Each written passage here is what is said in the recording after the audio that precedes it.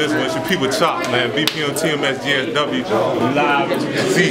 Child Park. This is where it all started. You feel me? This is where it all started right here, man. Salute my cuz, you know what I'm saying? More buckets, more space. You feel me?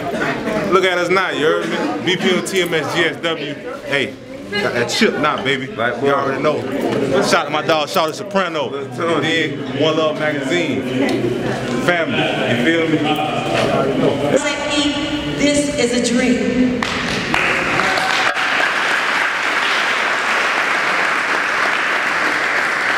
Please see this as an opportunity for all of you out there who desire to be something in life, even if it isn't in the NBA. Know that in St. Pete, we have what I call pure gold. In St. Pete, you can dare to dream. It doesn't matter what your zip code is, what your economic status is, where you come from, what you've done, what your parents have done. You too can be anything that you want to be. So I hope you take this as an career, he always has a place to heart for St. Pete because he does so much the sun going to be a golden in their. And I think they were shining brightly here in the finals this year.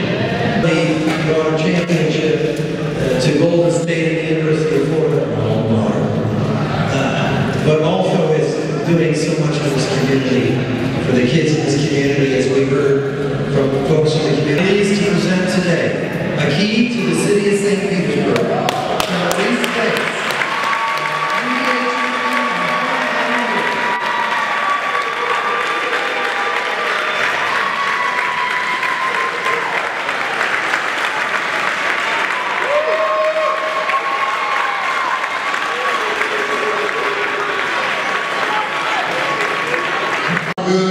Stage with this young man, Mr. Spinks. You know, I got on council in 2008 and I brought him in to City Hall uh, and they gave him a, top of the game award. Not knowing that the ice that he would excel, but I knew he would do great things.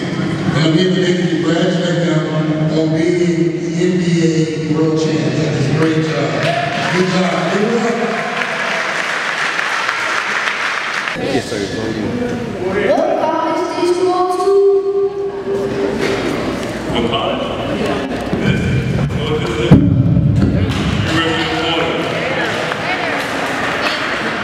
Stand up, stand up.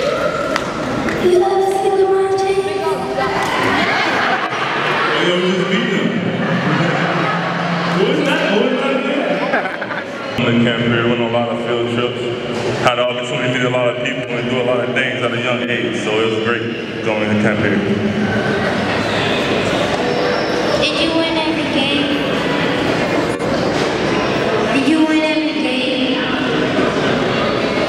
No, I'm never gonna win every game, never. Because I always take the losing to make you be successful. So whenever, if you fail at something, just build that, make it a motivation to be successful. And that's what I did right now get this point.